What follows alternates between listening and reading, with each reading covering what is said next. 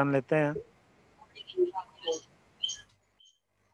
तो सबसे पहले हम शेखर जोशी जी का जीवन वृत्तांत जान लेते हैं। जैसा कि ऊपर लिखा गया है अंतर की गुमड़ती वेदना को आँखों की राह बाहर निकाल लेने पर मनुष्य जो भी निश्चय करता है वे भावुक अक्षरों की अपेक्षा अधिक विवेकपूर्ण होते हैं।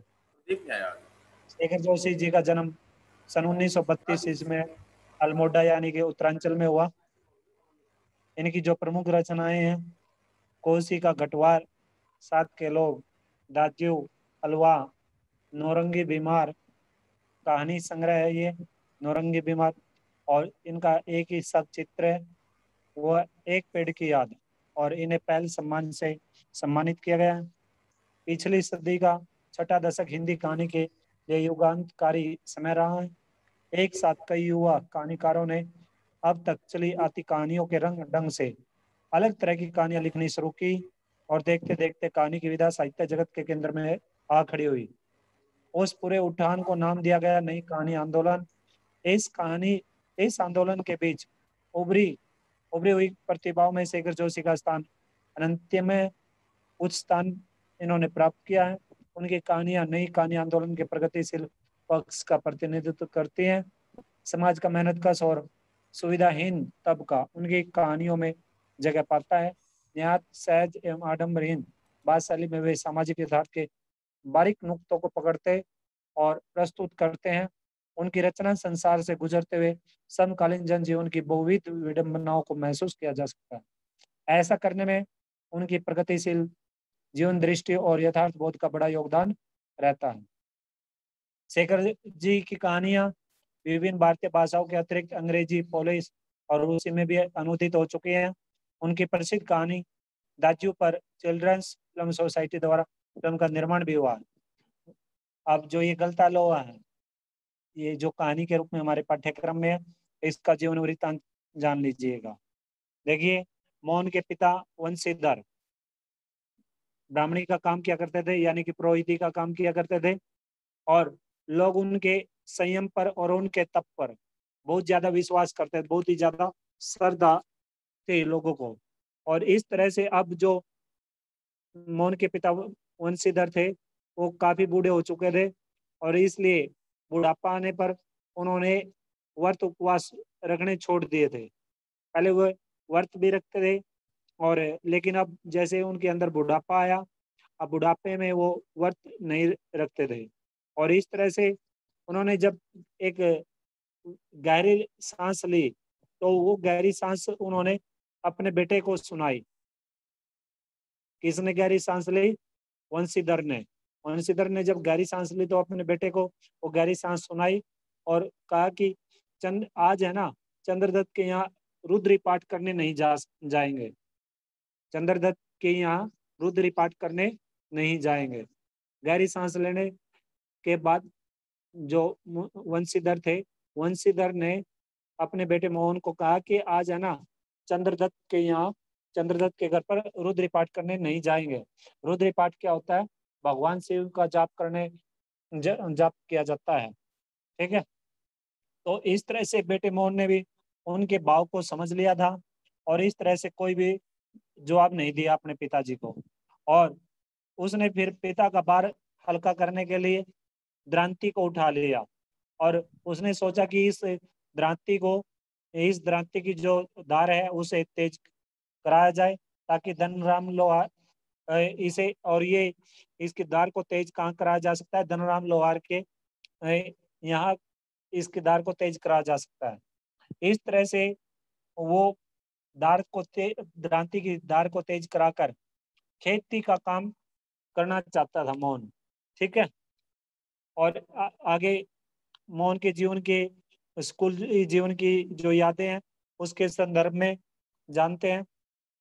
दरनाम उसका सहपाठी भी रहा था और इस तरह से मोहन एक खाली कनस्तर पर बैठ कर उसका काम भी देखता रहा और दोनों को अपने स्कूल के मास्टर त्रिलोक की भी याद आई। जब मोहन द्रांति में तेज धार कराने के धार तेज कराने के लिए गए हुए थे अपने मित्र धनाम के वहाँ क्योंकि धनाम किसका काम करता था? लोहार का काम करता था। और एक तरह से वो धनाम उसका मित्र रहा मोहन का। तो जब वो काम कर रहे थे, लोहार धनराम काम कर रहा था तो वो फिर दोनों अपने स्कूल के मास्टर त्रिलोक की यादें करते हैं। यादें आती हैं उन्हें। और वे उनकी यादों को दोहराकर ज़ोर ज़ोर से हँसते भी हैं। और इस तरह से मास्टर त्रिलोक सिंह का मौन को प्यार करना उसे कक्षा का मॉनिटर बनाना और फिर उसके यादों को इस तरह से दोनों मास्टर त्रिलोक सिंह की यादों को दोहराकर ज़ोर ज़ोर से हँसते हैं और एक दूसरे से गप्पे भी लगाते हैं कि किस तरह से मास्टर त्रिलोक सिंह मोहन को प्यार किया करते थे और उन्होंने कक्षा का मॉनिटर भी बनाया था मोहन को और फिर कमज़ोर लड़कों को भी वो अगर सजा दिलवाते थे तो मोहन से ही दिलवाया करते थे। ठीक है? और इस तरह से धनराम गणित में बिल्कुल ही नालायक था। और मास्टर जी उन्हें क्या करते थे? मास्टर जी डंडे से उन्हें उनकी पिटाई किया करते थे धनराम के। तो ये सभी यादें वो वहाँ पर बैठकर करते हैं। अपने स्कूली जीवन की यादों को दोहराते हैं। फिर धनराम का लोहार बनना। धनराम का तेरा का पाड़ा बिल्कुल भी नहीं आता था और मार खाने पर भी उसे सीख नहीं पाया। और तब मास्टर त्रिलोक सिंह ने उस पर एक करारा व्यंग्य किया। कि तेरे दिमाग में लोहा भरा हुआ है, इसमें विद्या का ताप नहीं लगेगा। यह है, कहकर मास्टर जी ने उसे पाँच छह द्रांतिया दार लगाने के लिए दे दी, और तभी से वह पिता गंगाराम के साथ दोंकड़ी फूकने, साथ लगाने और गन चलाने आदि का काम भी करना उसने, धनराम ने शुरू कर दिया था। और उसके पिता भी काम ठीक से न करने पर उसे पीटते थे, और एक दिन वह भी आया जब गंगाराम चल गंगाराम जी परमपिता परमात्मा को प्यारे हो गए और उनकी जगह धनराम ने लोहार का काम करना शुरू कर दिया। और फिर आगे है, मोहन का जो जीवन है, मोहन का जीवन संघर्ष में कैसे रहा? क्योंकि मोहन को प्राइमरी शिक्षा पूरी करते ही छात्रवृत्ति प्राप्त हो गई थी। और ये छात्रवृत्ति प्राप्त होकर जैसे उसे ये छात्रवृत्ति प्राप्त हुई तो मोहन के पिता बहुत ही खुश हुए थे। मोहन के पिता इस छात्रवृत्ति को प्राप्त मोहन को ये छात्रवृत्ति दे जैसे प्राप्त हुई थी, उसे देखकर मोहन के पिता बड़े खुश हुए और वो चाहते थे कि मोहन को पढ़ा लिखा कर बड़ा आदमी बनाएँगे, लेकिन आगे की पढ़ाई के लिए उसे स्कूल भेज दिया गया और स्कूल गाँव से लगभग चार मील की दूरी पर होता था, चार मील की और रास्ते में दो मील की तो ऊंचाई होती थी और बीच में एक नदी होती थी और फिर भी मोहन स्कूल जाया करता था और वह थक कर जब घर वापिस आता तो उसके पिता उसे अन्य बालकों के उदाहरण देकर उसे क्या करते थे? उसके अंदर जोश भरने का काम किया करते थे। ठीक है? और एक और बात बता दू, मिल मिल शब्द की बात आई है, कोस। कोस में तीन किलोमीटर से थोड़ा सा ज़्यादा थोड़ा सा ज़्यादा दूरी होती है। तीन किलोमीटर, वैसे तो तीन किलोमीटर की दूरी मापी जाती है एक कोस में और एक मील में वन पॉइंट फिफ्टी टू, यानी कि डेढ़ किलोमीटर से थोड़ी सी ऊपर। डेढ़ किलोमीटर से थोड़ी सी ऊपर की दूरी होती है, एक मील में। यानी कि दो मील में मिलाकर एक कोस पूरा होता है। दो मीलों को मिलाकर एक कोस पूरा होता है। वन पॉइंट फाइव टू, एक मील, ठीक है? और इस तरह से दो मीलों को मिलाकर एक कोस पूरा होता है। कोस बड़ा होता है और मील छोटा होता है। आजकल तो दूरी किससे मापी जाती है? किलोमीटर से। आगे चलिएगा और फिर मोन लखनऊ में कैसे गया? उसी उन्हीं दिनों रमेश नाम का एक युवक लखनऊ से गाँव आया हुआ था और मोहन के पिता ने मोहन की पढ़ाई के बारे में उसके सामने ये बातें रखी। तो इस तरह से रमेश ने उन्हें के साथ सहानुभूति भी प्रकट की और मोहन को लखनऊ भेजने के लिए बोल दिया। और उसने कहा कि जहाँ घर में चार प्राणी हो, वहाँ यह पांचवा भी रह सकता है। इस तरह से बड़े शहर में रहकर इसकी पढ़ाई अच्छे से होगी और वंशीधर को जैसे भगवान मिल गया हो, वो जो रमेश आया है, रमेश को वंशीधर भगवान के रूप में देखते हैं, क्योंकि उन्होंने मोहन को लखनऊ भेज दिया। लेकिन लखनऊ में मोहन डरा डरा सा रहता था और इस तरह से उसे नौकरों की तरह काम भी लिया जाता था।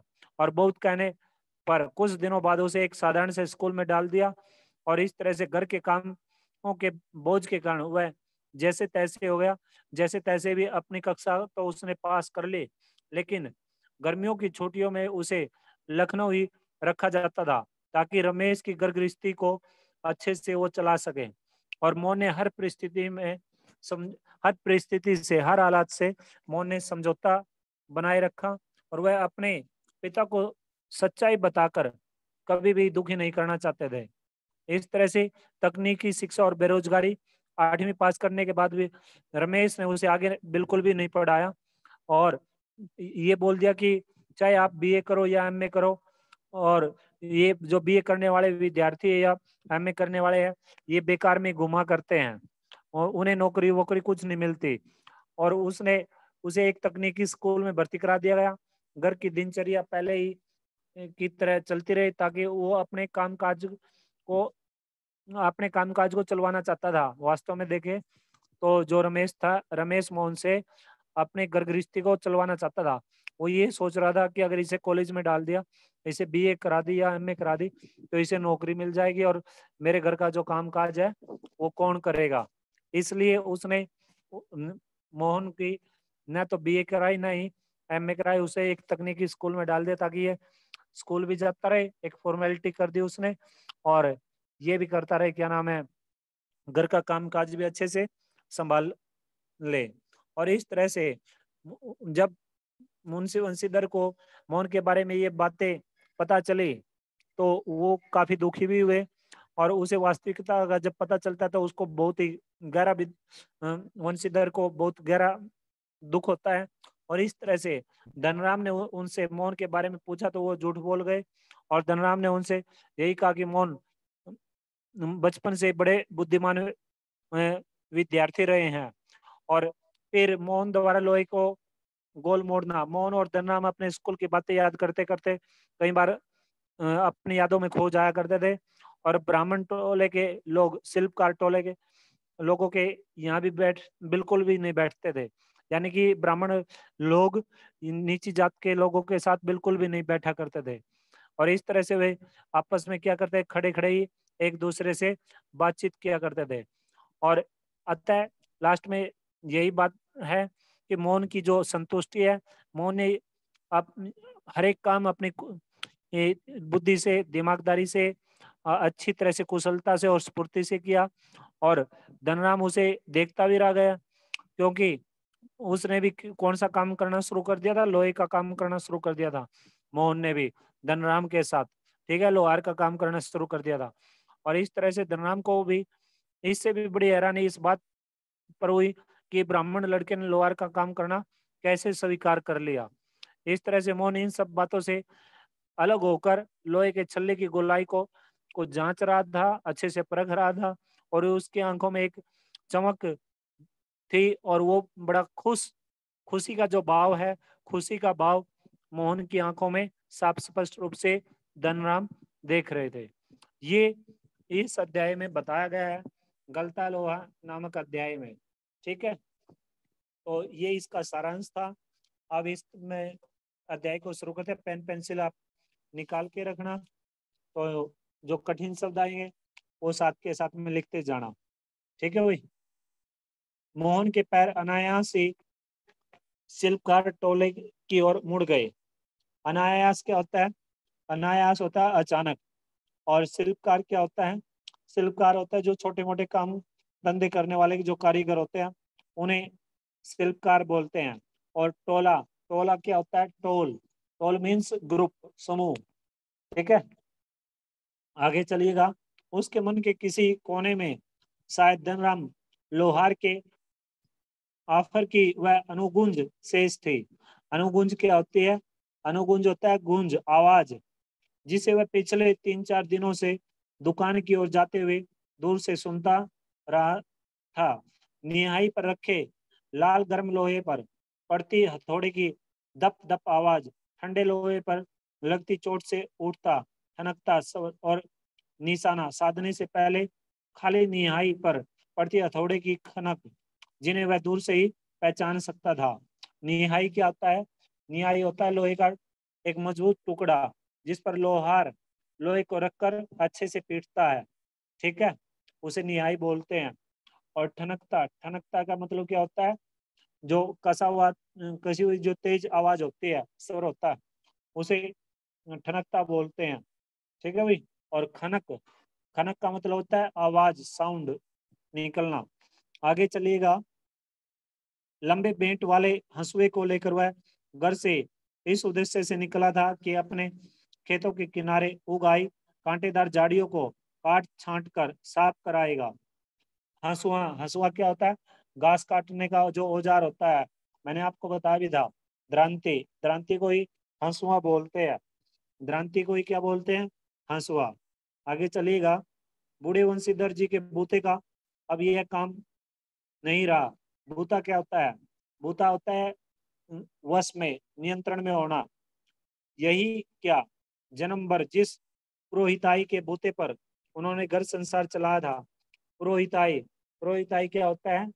पंडित का जो कर्म होता है, ब्राह्मणों का जो काम धंधा होता है, उसे ब्राह्मणी का जो ये तरह तरह के किसी के नाम, नामकरण करना या फिर किसी अन्य ज्ञान देना, लोगों को उपदेश देना, इस तरह से जो भी काम धंधा था उनका ब्राह्मणों का, वो, ठीक है, उसे पुरोहिताई बोलते हैं। बूते पर, यानी कि उसके बेस पर, आधार पर, आगे चलेगा, वह भी अब कैसे कहा कर पाते हैं? यजमान लोग उनकी निष्ठा और संयम के कारण उन पर श्रद्धा रखते हैं। यजमान क्या होता है? यजमान जो पंडित को अपने घर पुरोहिताई करने के लिए बुलवाते हैं। यानी कि जैसे मान लीजिए, आप हो या मैं हो और मैंने कोई हवन इत्यादि कराने के लिए पंडित को अपने घर बुलाया तो मैं यजमान हूँ। ठीक है? या आप यजमान हो जाओगे। आगे है, लेकिन बुढ़ापे का जर्जर शरीर अब उतना कठिन श्रम और वर्त उपवास नहीं झेल पाता, क्योंकि अब उसका जो शरीर था, वंशीधर का, वो उसमें बुढ़ापा आ गया था, यानी कि वो बूढ़े हो चुके थे। पहले वो वर्त इत्यादि किया करते थे, लेकिन अब जैसे उनकी उम्र ढल चुकी थी तो उन्होंने वर्त इत्यादि को त्याग दिया था, छोड़ दिया था। ठीक है? तो आगे चलिएगा। निष्ठा क्या होती है? निष्ठा होती है ईमानदारी, लगन। ठीक है? संयम होता है, नियंत्रण। आगे चलिएगा। सुबह सुबह जैसे उससे गहरा उससे सहारा पाने की नियत से ही उन्होंने गहरा निश्वास लेकर कहा था। निश्वास निश्वास क्या होता है? सांस लेना, ठीक है? आज गणनाथ जाकर चंद्रदत्त जी के लिए रुद्री पाठ करना था। रुद्री पाठ क्या होता है? भगवान शंकर की पूजा के लिए जो मंत्र इत्यादि पढ़े जाते हैं, उन्हें रुद्री पाठ बोलते हैं, ठीक है? आगे चलिएगा। अब मुश्किल ही लग रहा है कि यह दो मील की सीधी चढ़ाई अब अपने बूते की नहीं, अपने बस की नहीं है। एकाएक ना ना भी नहीं कहा जा सकता। एकाएक क्या होता है? अचानक। ठीक है? कुछ समझ में नहीं आता। अगला पृष्ठ निकाल लीजिएगा। कुछ समझ में नहीं आता है। मोहन उनका आश्चर्य समझता हो। ऐसी बात नहीं, लेकिन पिता की तरह ऐसे अनुष्ठान कर पाने का न उसे अभ्यास ही है और न वैसी गति। आश्चर्य का मतलब क्या होता है? आश्चर्य का मतलब होता है आश्चर्य का मतलब आश्चर्य मीन्स मतलब या अर्थ। और अनुष्ठान अनुष्ठान का मतलब होता है धार्मिक जो काम काज किए जाते हैं उसको अनुष्ठान बोलते हैं पूजा पाठ इत्यादि जो की जाती है ठीक है? और गति गति होता कुशलता। आगे चलेगा पिता की बातें सुनकर भी उस ए, उसने उनका बार हल्का करने का कोई सुझाव नहीं दिया। जैसे हवा में बात कह दी गई थी, वैसे ही अनुत्रित रह गई हो। अनुत्रित का मतलब क्या होता है? बिना उत्तर पाए। किसी चीज़ का उत्तर न दे ना उसे अनुत्रित बोलते हैं, बिना उत्तर के। अनुपसर्ग है, ठीक है? आगे चलिएगा। पिता का बार हल्का करने के लिए वह खेतों की ओर चला था, लेकिन हंसुए की डार पर हाथ फेरते हुए उसे लगा हुआ पूरी तरह कुंद हो चुकी है। कुंद होना, कुंद होने का मतलब होता है नष्ट होना, बिल्कुल ही खत्म हो जाना। ठीक है? आगे चलिएगा। धनराम अपने बाएँ हाथ से दोगुनी फूकता हुआ दाएँ हाथ से भट्टी में गर्म होते लोहे को उलट पलट रहा था। दोकनी क्या होता है? दोकनी होता है जो लोहार की आग को सिलगाने वाले, जो बाँस या लोहे की जो नली होती है, उसे धोकनी बोलते हैं। उसे क्या बोलते हैं? मोहन भट्टी से दूर हटकर एक खाली कनिस्तर के ऊपर बैठा। उसकी कारीगरी को पारखी निगाह से देख रहा था। कनिस्तर क्या होता है? लोहे का जो चौकोर पीपा होता है, उसे कनिस्तर बोलते हैं। और पारखी पारखी का मतलब होता है कुशलता से, ठीक है? एक्सपर्टी से पूरी। आगे चलिएगा। मास्टर त्रिलोक सिंह तो अब गुजर गए होंगे। मोहन ने पूछा, यानी कि वो दोनों आपस में एक दूसरे से बातचीत कर रहे हैं। स्कूल की बातें उनकी शुरू हो चुकी है, स्कूल की यादें उनके मस्तिष्क में उजागर हो चुकी हैं। ठीक है? वे दोनों अब अपने बचपन की दुनिया में लौट आए थे। धनराम की आँखों में एक चमक सी आ गई थी। वह बोला, माँ साहब माँ साहब का मतलब क्या होता है? मास्टर साहब। माँ साहब का मतलब क्या होता है? मास्टर साहब, ठीक है? तो आगे चलिएगा। माँ साहब भी क्या आदमी थे, लल्ला? अभी पिछले साल ही गुजरे। सच कहूँ, आखिरी दम तक उनकी छड़ी का डर लगा ही रहता था। आपस में जैसे कई बार चर्चा नहीं करते हम कि भाई, वो सर तो बहुत पीटते, वो मैडम तो बहुत पीटते हैं। और जब भी हम आपस में स्कूल पास कर लेते हैं, यानी कि स्कूल से बारहवीं कक्षा पास करने के बाद या जितनी भी पढ़ाई करते हैं स्कूल की यादें या कॉलेज की यादें हम हम्म, जब आपस में बैठते हैं तो दोहराते हैं ना तो इस तरीके से ठीक है वो भी आप से आपस में स्कूल की बातों को दोहरा रहे थे। दोनों हो होकर हंस दिए। कुछ क्षणों के लिए वे दोनों ही जैसे किसी बीती हुई दुनिया में लौट गए। गोपाल सिंह की दुकान से हुक्के का आखिरी कस खींच कर त्रिलोक सिंह स्कूल की चार दीवारी में उतरते हैं। त्रिलोक सिंह क्या करते हैं? स्कूल की चार दीवारी में आ जाते हैं, थोड़ी देर पहले तक। दमा चौकड़ी मचाते, उठा पटक करते और बांझ के पेड़ों की टहनियों पर झूलते बच्चों को जैसे सांप सूंघ गया। कड़े स्वर में वह पूछते हैं, प्रार्थना कर ली तुम लोगों ने? यह जानते हुए भी, ये सब बातें क्या कर रहे हैं? वो मास्टर साहब जी के मास्टर त्रिलोक सिंह जी के संदर्भ में बोल रहे हैं, ठीक है? यह जानते हुए भी कि यदि प्रार्थना हो गई होती तो गोपाल सिंह की दुकान तक उनका संवेद स्वर पहुँचता ही। संवेद स्वर क्या होता है? मिली जुली जो आवाज़ होती है, सामूहिक या सबका, ठीक है? उसे संवेद स्वर बोलते हैं। त्रिलोक सिंह गुर गुर कर एक लड़के को देखते हैं। फिर वही कड़कदार आवाज़, मोहन नहीं आया आज? मोहन उनका चेता शिष्य था। ये चेता यानी कि उनका बहुत ही प्रिय शिष्य है, ठीक है? पुरोहित, खानदान का कुशागर बुद्धि का बल पढ़ने में ही नहीं, गायन में बेजोड़। पुरोहित क्या बताया मैंने? ब्राह्मण। और कुशागर बुद्धि क्या बताया? तेज दिमाग वाला, ठीक है? त्रिलोक सिंह, मास्टर ने उसे पूरे स्कूल का मॉनिटर बना रखा था। मॉनिटर क्या होता है? जिसको आगे कर दिया जाता है प्रमुख हेड ठीक है? वही सुबह सुबह हे प्रभु आनंददाता ज्ञान हमको दीजिएगा। पहला सर उठाकर प्रार्थना शुरू करता था। अगला पृष्ठ निकाल लीजिएगा, पेज नंबर अठावन देखिएगा। मोहन को लेकर मास्टर त्रिलोक सिंह को बड़ी उम्मीदें थी। कक्षा में किसी छात्र का कोई सवाल न आने पर वही सवाल वे मोहन से पूछते और उनका अनुमान सही निकलता। मोहन ठीक ठीक उत्तर देकर उन्हें संतुष्ट कर देता। तब वे उस फीसडी बालक को दंड देने का बार मोहन पर डाल देते। फीसडी क्या होता है? फीसडी होता है कमज़ोर। फीसडी का मतलब क्या होता है? कमज़ोर। पकड़ इसका कान और लगवा इसे, इससे दस उठक बैठक। वे आदेश दे देते।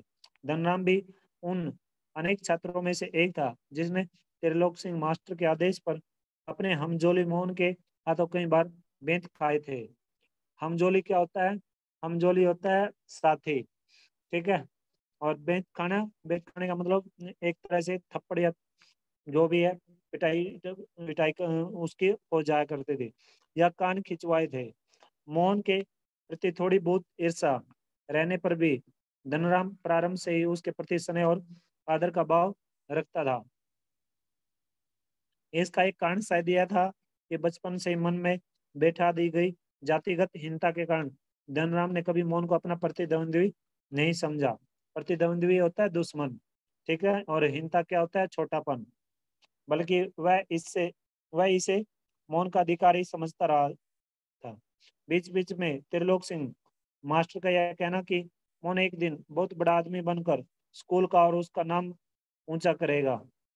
धनराम के लिए किसी और तरह से सोचने की गुंजाइश ही नहीं रखता था।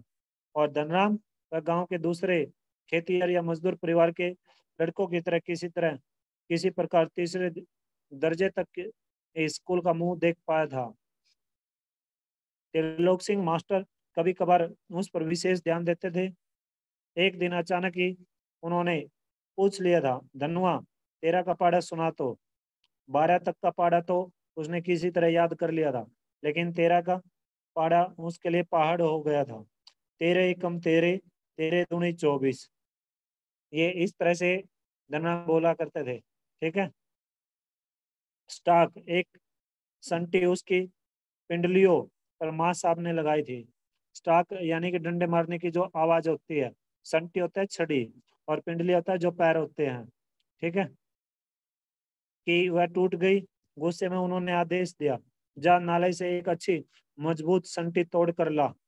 फिर तुझे तेरह का पाड़े याद कराता हूँ। उसी से छड़ी मंगवाते थे और उसी की पिटाई किया करते पहले यही आदत होती थी मास्टरों की। ठीक है भाई? अगला पृष्ठ निकाल लीजिए, पेज नंबर उनसठ।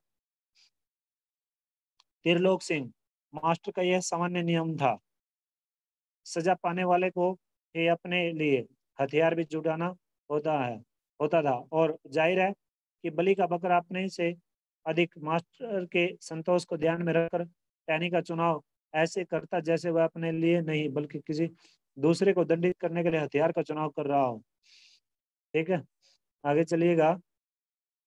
धनराम की मंद बुद्धि रही हो या मन में बैठा हुआ डर कि पूरे दिन गोटा लगाने पर भी उसे तेरा का पाड़ याद नहीं हो पाया था। छुट्टी के समय जब माँ साहब ने उसे दोबारा पाड़ा, सुनाने को कहा तो तीसरी सीढ़ी तक पहुँचते पहुँचते वह फिर लड़खड़ा गया था। लेकिन इस बार मास्टर त्रिलोक सिंह उसके लाए हुए बेंत का उपयोग करने के बजाय जबान की चाबुक लगा देते। चाबुक लगाना, चोट करना, ठीक है?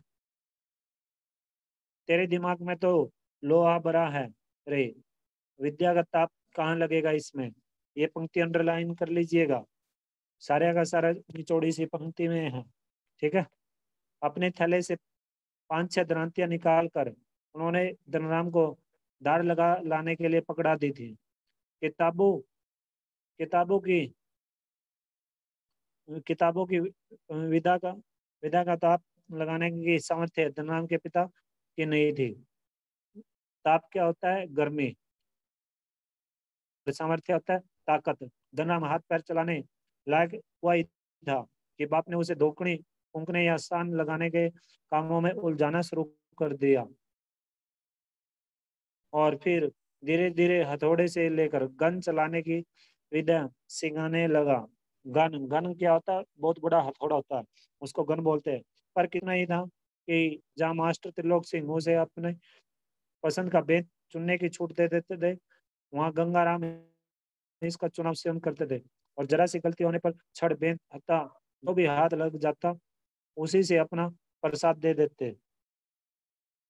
एक दिन गंगाराम अचानक चल बसे तो धनराम ने सहज भाव से उनकी विरासत संभाल ली और पास पड़ोस के गाँव वालों को याद नहीं रहा कि वे कब गंगाराम के ऑफ़र को, धनराम का ऑफ़र कहने लगे थे। प्राइमरी स्कूल की सीमा लांगते ही मोहन ने छात्रवृत्ति प्राप्त कर त्रिलोक सिंह मास्टर की भविष्यवाणी को किसी हद तक सिद्ध कर दिया। तो साधारण हैसियत वाले, यजमानों की प्रो, प्रोहिताई करने वाले वंशीधर तिवारी का हौसला बढ़ गया और वे भी अपने पुत्र को पढ़ा लिखा कर बड़ा आदमी बनाने का सपन देखने लगे। विरासत क्या होता है? विरासत होता है पिता से मिली जो कारीगरी या धन संपत्ति होता है। ठीक है? और पैतृक माँ बाप का जो माँ बाप को ही बोलते हैं पैतृक। ठीक है? आगे चलिएगा। पीढ़ियों से चले आए पैतृक धंधे ने उन्हें निराश कर दिया था। दान दक्षिणा के बूते पर वे किसी अगला प्रश्न निकाल लीजिएगा। वे किसी तरह परिवार का आधा पेट भर पाते थे। मोहन पढ़ लिख कर वंश का दारिद्र्य मिटा दे, यह उनकी हार्दिक इच्छा थी। दारिद्र्य क्या होता है? गरीबी को, ठीक है?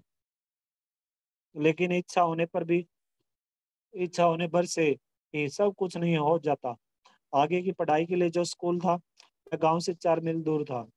दो मील की चढ़ाई के अलावा, बरसात के मौसम में रास्ते में पड़ने वाली नदी की समस्या अलग थी तो भी वंशीधर में हिम्मत नहीं रही और लड़के का नाम स्कूल में लिखा दिया।